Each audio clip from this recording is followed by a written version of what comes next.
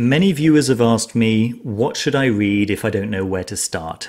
Now, I've previously made a video called 10 esoteric books for beginners, which you can find a link to in the description. But that's more to do with what to read if this is a completely new subject to you. An analogy might be the wax on, wax off scene from The Karate Kid, where the kid is actually learning without realizing that he's learning. So the books in that list don't seem to have an esoteric theme, which is why they're perfect for the absolute beginner. But the topics that they introduce they get the reader thinking about the kinds of questions that esoteric studies attempt to answer. For today's video, I wanted to pick out just a few books that explicitly claim to introduce magic for the absolute beginner. Now, while all of the books on this list do accurately introduce magic from a practical point of view, at least a few of them do expect you to have, at minimum, a passing understanding of what magic actually is. So while they do provide an initiation, they don't necessarily provide you with an introduction. And the first book on my list is such a book, which can be a little baffling for the average layperson The Golden Dawn, the original account of the teachings, rites, and ceremonies of the Hermetic Order.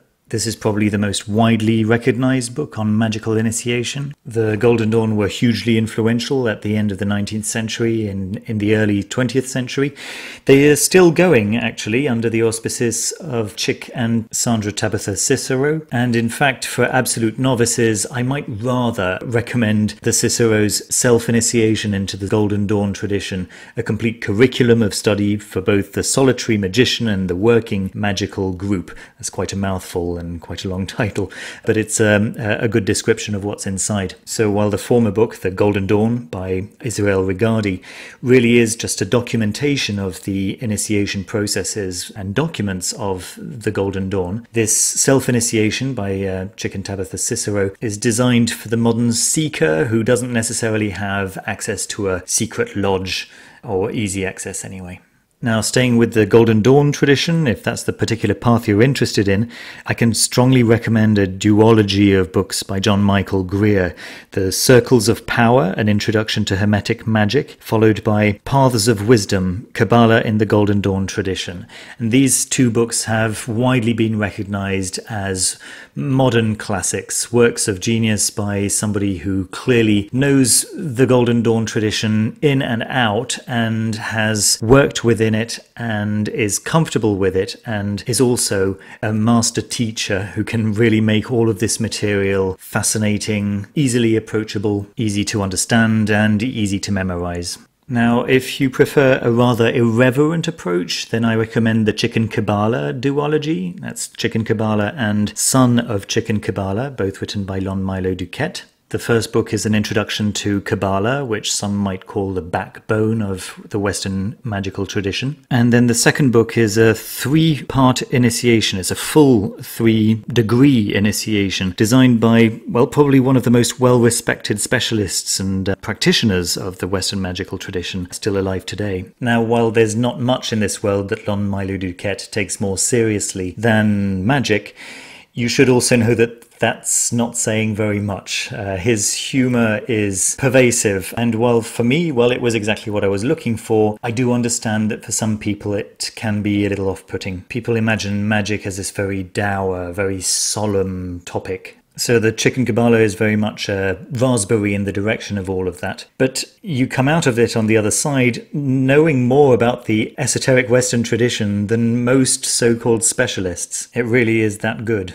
I will briefly mention Modern Magick also uh, by Donald Michael Kraig. I haven't read Modern Magick, although I do understand that it is a reference nowadays. My understanding is that it's very well written, but I have heard some complaints that it can set you up with some bad habits, specifically with regards to the way the lesser banishing ritual of the pentagram is described. As I say, not having read it, it's difficult for me to make an actual judgment, but you should know that many people absolutely love this book and it's been the starting point point for many modern practitioners.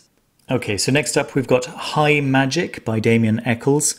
Now, my guess is that the aforementioned High Magic, what, what that book has been doing for people since the 80s, this High Magick by Damien Echols, I, I've I've got a feeling it might be doing for new magicians from now on, maybe for the next decade or so. If you haven't had the opportunity to watch The Midnight Gospel on Netflix yet, then I strongly recommend that you do. The third episode features Damien Echols, and he talks about how he spent 20 years incarcerated for a murder that he hadn't committed. In fact, he was on death row. And this book, High Magick, talks about the ceremonial magic practices that he developed on death row, which eventually at least in his words, got him out of that lethal situation. He's got some very interesting new takes on old concepts, and well, I recommend checking out his YouTube video, in fact, uh, which I'll link down in the description. I'll be reviewing his new book, Angels and Archangels, very shortly. Okay, so starting to transition a little bit away from the Golden Dawn tradition, we've got the Magical Philosophy books by Melita Denning and Osborne Phillips. Now, these books came out in the 70s, and uh, while most of them are completely out of print nowadays, the two most well respected books from that series, number two and three, that's The Sword and the Serpent and Mysteria Magica, those two are regularly reprinted and can easily be found in high quality paperback. So, absolutely following the pattern of the previous two duologies that I mentioned, the first book's subtitle is The Twofold Kabbalistic Universe, and the second book's title is Fundamental Techniques of High Magic. If you've been watching my Esoteric Saturday videos for the past couple of weeks, you'll know that I've got a very high respect for Osborne and Phillips' work. Their corpus deviates quite a bit from the Golden Dawn materials. They call their stream the Aurum Solis, the Golden Sun, and they seem to have managed to fix some of the inconsistencies, at least that I've found in the Golden Dawn tradition. So I'd say that that's a very solid introduction, particularly for anyone who's not too fussed about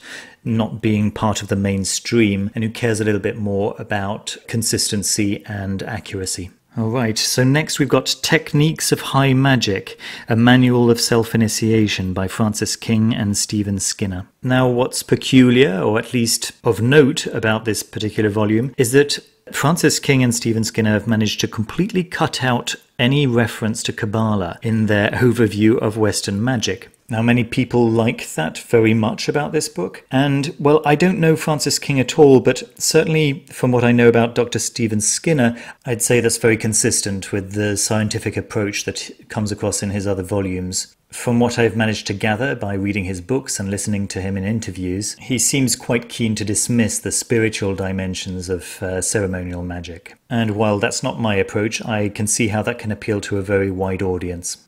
Now, if this sterile, um, sterile doesn't have to be a bad thing, but if this um, scientific approach to magic appeals to you and you're more interested in the phenomenology of the practice than you are in exploring your relationship to divinity, for example, then I can wholeheartedly recommend Chaos Magic by Andrieh Vitimus. It's an A to Z course in producing magical effects through slight variations in your behavior. The book is presented like a series of experiments, and you're encouraged to, well, very much use the scientific method of changing just one little thing and then observing the differences, the effects, and keeping track of the reproducible nature of these experiments. I know that some people have complained about the industrial, sterile feel of this book, but once again, that might be exactly what other people are after. All right, next on our list is a book called Six Ways Approaches and Entries for Practical Magic by Aidan Wachter. Now, I'd say that this is the quintessence of introductions because it's a very slim book, and yet contained within its pages is a key to a world of discovery. Techniques are provided, techniques that are very simple, that anyone can do, and ways of thinking are also provided. And combining the two together, you can come to your own practice. Aidan's very keen to emphasize this is what I do, and it's not necessarily what you should do. This is how I do it, and this is why I do it. Now, you can think of something similar that's going to be good for you. And I really respect that about him. Now, a lot of the techniques that he describes in this, I've adapted and incorporated into my own practice, and they're incredibly powerful, incredibly useful, and I'm very grateful, in fact, for his work. You can see a full review of this book that I've linked down below. Now, finally, we've got three books by Josephine McCarthy, and they're the Quareia Initiation books The Apprentice, The Initiate, and The Adept. Now, what's wonderful about these books is that they're free to read online through the Quareia website, which I've linked down below. However, many people really appreciate having hard copies, and they are available for sale as paperbacks also. Now, this course is designed to be a self study course, and it's very well known for being incredibly thorough, incredibly grueling. It's an enormous amount of work. However, if you can get through the apprentice part of the course, the first third of the course, then you can submit the materials that you'll have generated in the process and start getting some help from the people in Quareia. However, that condition of submitting all the required materials is sine qua non. Josephine McCarthy's got a very interesting personality, and I recommend checking out what she has to say on interviews given on podcasts like The Glitch Bottle. But now we're entering the realm of podcasts, and I think that that's a topic for another video. Guys, I hope you enjoyed watching this video as much as I enjoyed making it. Thank you so much for sticking through to the end. Please don't forget to leave a thumbs up and to subscribe if you haven't already. It really helps me, and I'll be back very soon with another video. Take care. Bye bye.